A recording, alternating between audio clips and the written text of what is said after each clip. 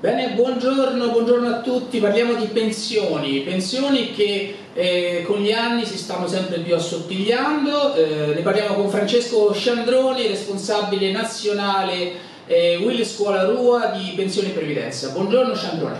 Buongiorno, buongiorno a tutti.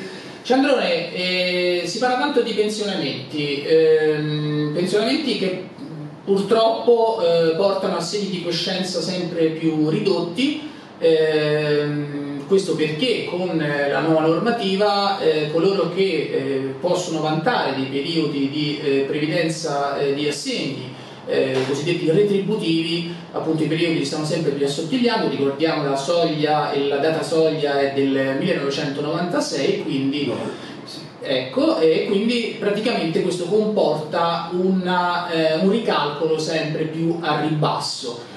Allora, io farei subito un esempio. Un insegnante di scuola secondaria con circa 35-36 anni di contributi eh, complessivi, considerando anche un eventuale riscatto di laurea, anche una, alcuni anni di preruolo, e che attualmente eh, percepisce diciamo, eh, circa 2.000-2.100 euro netti al mese a fine carriera, con quale eh, assegno andrà in pensione? Diciamo che andrà in pensione con una, un assegno che, eh, può variare, che, che sarà eh, di circa 450-500 euro di meno rispetto al netto che piglia. Eh, dell'ultimo stipendio. Dell'ultimo stipendio ovviamente. Noi l'abbiamo visto, eh, questo l'abbiamo visto già con chi ha dato con quota 100, chi aveva 62 anni e 38 di contribuzione pigliava esattamente 300 euro di meno rispetto allo stipendio di godimento. Poi qui ci sono delle piccole variabili perché se io anziché 62 anni ne ho 64, siccome il mio coefficiente di trasformazione è più alto prendo qualche cosa di più, tipo 20-30 euro di oh. più, insomma.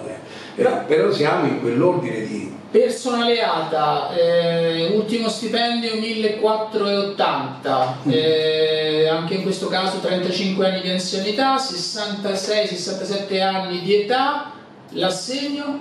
L'assegno sarà un po' di 1200-1250 perché non è che ci può essere la stessa proporzione, qui stiamo parlando di uno stipendio che è di 1500 euro, se è di 1500 euro e ha 36 anni di contribuzione e 67 anni di età, non è che possiamo pensare che sia lo stesso taglio che ha un docente di scuola superiore che ha 2000 e quasi 2200 euro al mese netti con classe 35. Certo, certo, Quindi, è chiarissimo. Ovviamente stiamo parlando di personale che eh, andrà a percepire la pensione senza decurtazioni, perché poi se rientriamo nei virtuali anticipi pensionistici la, la, la cosa cambia. Allora, l'anticipo pensionistico, quello che si chiama normalmente APE, APE sociale, non è una pensione, è una indennità che viene corrisposta a chi ha determinati requisiti, chi ha una disabilità almeno del 74%, chi assiste parenti disabili in situazione di gravità entro il secondo grado e, e chi ha eh, eh, svolto lavori usuranti, usuranti. In questo caso che succede? Si dà un, una indennità, una ind che non è una pensione, è una indennità che viene corrisposta per 12 mensilità. Nella misura massima 1500 euro lordi, che al netto saranno 1200-1250 questo, ma non tutti potranno pigliare 1250 euro, perché un, un collaboratore scolastico, un assistente amministrativo a 1500 lordi non ci arriva, tutto è proporzionato a quella che ah, è certo. la situazione di ciascuno, di, eh, di, di coloro che fruiscono dell'ape sociale. E poi c'è da dire che questa si porta avanti fino a che non arriva all'età di 60 7 anni. Arrivata a quell'età si interrompe l'assegno dell'ape sociale e si fa il calcolo della pensione con i requisiti che aveva al momento della fruizione dell'ape sociale. sociale. Ricordiamo che si può accedere dai 63 anni in poi. Sandro, un'ultima domanda. Nella scuola eh, c'è una previdenza cosiddetta complementare eh, che è il cosiddetto fondo estero, ma stenta a decollare. Attualmente risultano non più di 100.000 adesioni, poco più di 100.000 adesioni.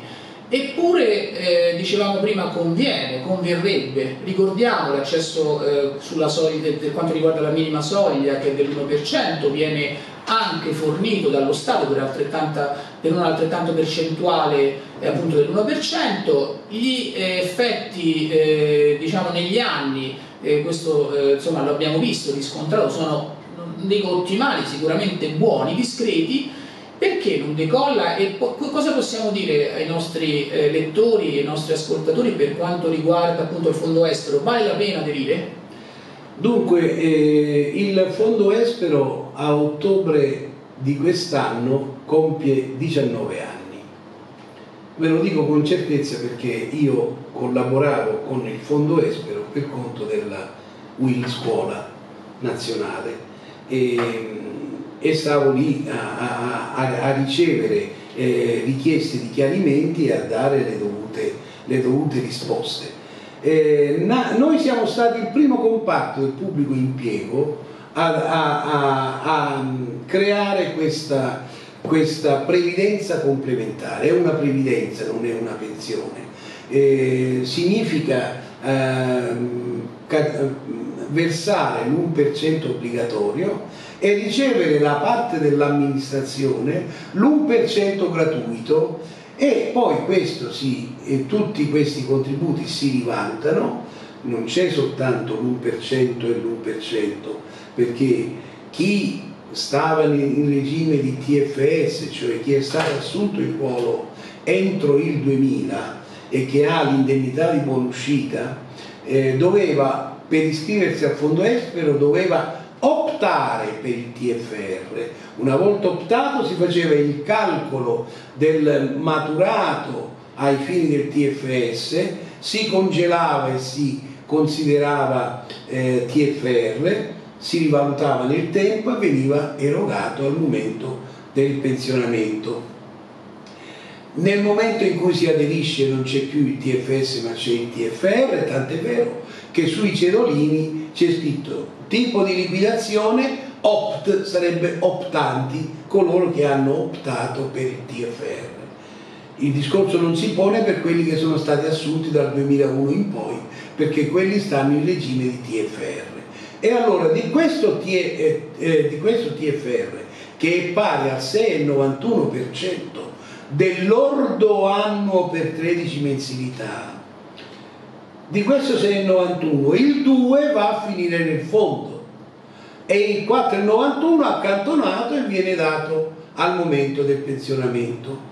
Allora c'è l'1% obbligatorio, l'1% dell'amministrazione, il 2 del TFR e poi siccome si continua a, a versare la quota per l'opera di previdenza che è pari al 2%, di questo 2% l'Inps versa al fondo l'1,2%, quindi abbiamo 1 più 1, 2, più 2, 4, più 1, 2, 5, 2% per coloro che sono in regime di TFS. Per quelli che sono in regime di TFR c'è l'1% obbligatorio, l'1% dell'amministrazione e il 6,91 di tutto il TFR, cioè tutto il TFR va a finire nel fondo e allora abbiamo l'8,91. Questo perché? Perché chi, sta in regime, chi, chi è stato assunto dal 2001 in poi si trova in una situazione di svantaggio rispetto agli altri, quindi ha bisogno di avere un montante molto più consistente per avere, per avere poi dei benefici.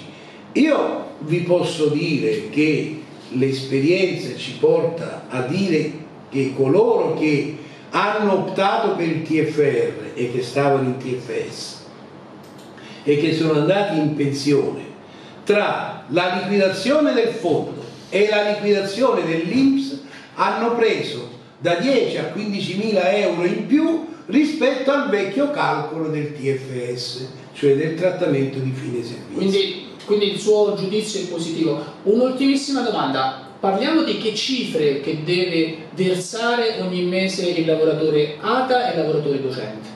Allora, eh, considerando che l'1%, l'1% parlando di ATA fino al docente di scuola secondaria di secondo grado può variare da 20 euro al mese a 28, 29 così, eh, io direi che se siamo di fronte a persone giovani, le persone giovani 35, 40 anni, è bene che aderiscano al fondo versando l'1% obbligatorio e almeno all'inizio un 2% facoltativo, perché così se sono 24 euro, 24 euro moltiplicato 3 sono 72 euro al mese, al mese, che comunque non stravolgono la, la, la, la situazione economica dell'interessato. Poi c'è l'1% dell'amministrazione e c'è il 6,91 di tutto il, TF, il TFR. Alla fine avranno un montante tale che anche se, se eh, o si fanno il vitalizio che potrebbe essere di 200-300 euro mensili se si arriva a un vitalizio e, e mi augurerei che ci si arrivasse ma purtroppo non è semplice a un vitalizio pari al minimo IMSS allora si avrebbe una pensione complementare ecco perché si chiama previdenza complementare perché previdenza è liquidazione pensione è invece sì. pensione solo quando si raggiunge il vitalizio, il, vitalizio. il minimo INPS. Se non si arriva, in conclusione? Io consiglio di ritirare tutto come contanti, lasciando perdere qualunque vitalizio. È meglio tenersi il contante, se lo tiene uno da parte e quando gli serve, piano oh, piano. A reperire. Bene, ringraziamo Francesco Sciandrone, responsabile nazionale pensioni previdenza di Scuola Tua. Buona giornata, grazie.